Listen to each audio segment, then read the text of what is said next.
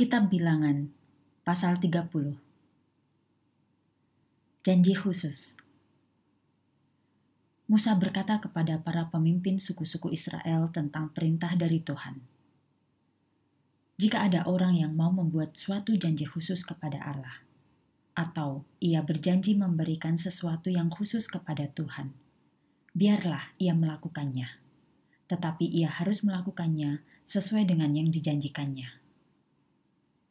Seorang perempuan mungkin masih tinggal di rumah ayahnya, dan dia membuat suatu janji khusus untuk memberikan sesuatu kepada Tuhan. Jika ayahnya mendengar tentang janjinya itu dan menyetujuinya, ia harus melaksanakan yang dijanjikannya. Jika ayahnya mendengar janji itu dan tidak menyetujuinya, ia bebas dari janjinya. Ia tidak harus melakukan yang dijanjikannya. Ayahnya melarangnya, maka Tuhan akan mengampuninya seorang perempuan mungkin membuat suatu janji khusus atau suatu janji yang diucapkan begitu saja, kemudian dia kawin. Jika suami mendengar janji itu dan tidak keberatan, perempuan itu harus melaksanakan janjinya. Jika suami mendengar janji itu dan melarangnya untuk melaksanakan janjinya, istri itu tidak harus melaksanakan janjinya. Suaminya membatalkan janji itu. Ia tidak membiarkan istrinya melakukan yang telah dikatakannya. Tuhan mengampuninya. Seorang janda atau seorang perempuan yang sudah bercerai mungkin membuat suatu janji khusus.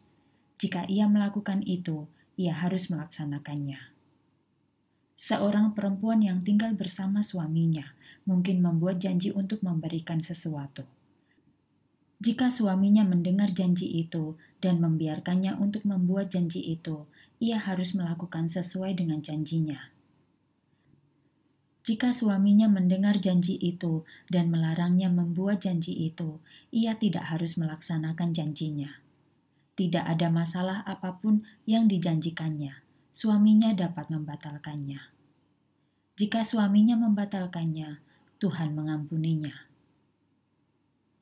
Seorang perempuan yang telah kawin mungkin membuat janji untuk memberi sesuatu atau ia mungkin berjanji tanpa melakukan sesuatu, atau mungkin dia membuat janji kepada Allah. Suami dapat membatalkan janji itu dan dapat membiarkannya melakukannya. Bagaimana suami dapat membiarkan istrinya melaksanakan janjinya? Jika ia mendengar janji itu dan tidak membatalkannya, perempuan itu harus memenuhi semua janjinya.